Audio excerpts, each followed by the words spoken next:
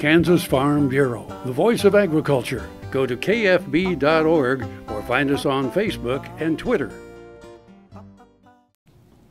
And we're back again.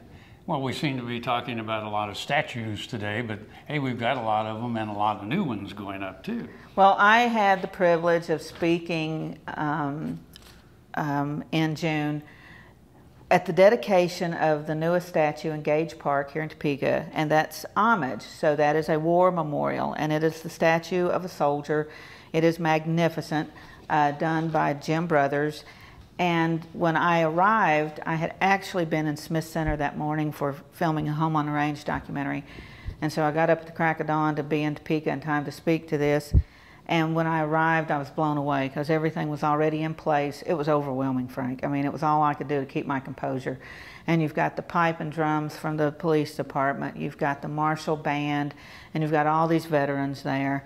And the man who introduced me that day was John Musgrave. And if you go back in our archives, you'll find the interview I did with John at the Combat Air Museum when the Vietnam Wall was visiting um, the traveling wall. And John is a hero in every sense of the word, and I was really humbled to be introduced by him and to share the podium with him and Chaplain Reyes Rodriguez, who was just uh, also a veteran, and, and, it was just wonderful. So you've got to go to Gage Park and see this newest statue. And you were talking about the eagle well, there. the eagle that's there, it used to be over uh, by 6th Street. Well, 6th Street at one time was Highway 40, and Highway 40 was the Victory Highway, which was in honor of World War I veterans. And so it got moved over to what has now become a uh, Veterans Memorial in Gage Park at 10th and Gage. So that little corner of the park right there at 10th and Gage is where the homage uh, statue was dedicated. And so there are bricks, you know, honoring some of the veterans and, and it's just beautiful. It's a beautiful setting. It's really appropriate right there. You know, Guilford Gage, for whom the park is named, was a Civil War veteran himself. He um, served in the Battle of the Blue and was captured there. Um, the monument at um, Topeka Cemetery of the Soldier is one that he personally bought and paid for to honor his comrades in the Battle of the Blue. So Gage Park is a really fitting place for, for this memorial. So you, you got it when you come to Topeka, or if you already live here or live in the vicinity, this is something you've got to bring your kids to see. It's really beautiful. So let's talk a little bit about the artist that created this, Jim Brothers.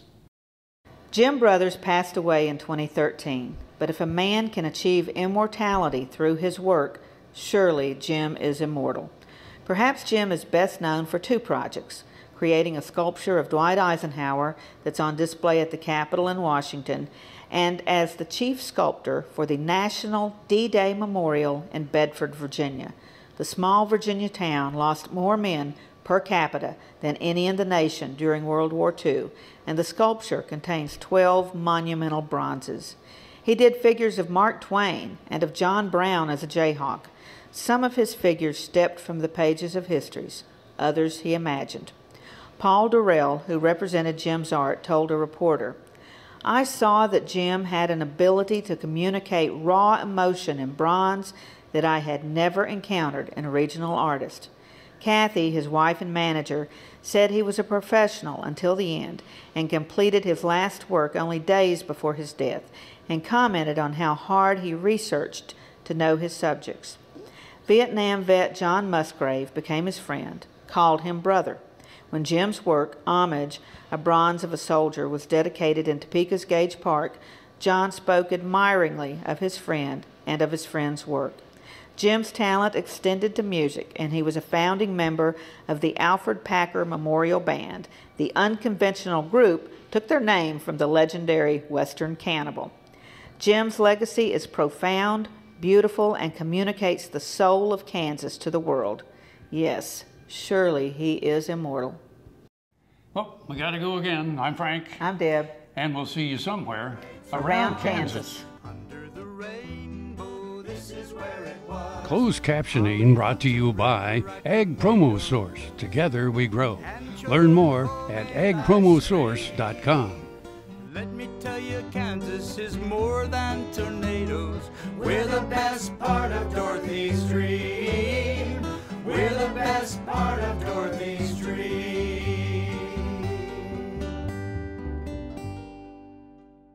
To see this show and past episodes of Ag AM in Kansas, go online to agaminkansas.com.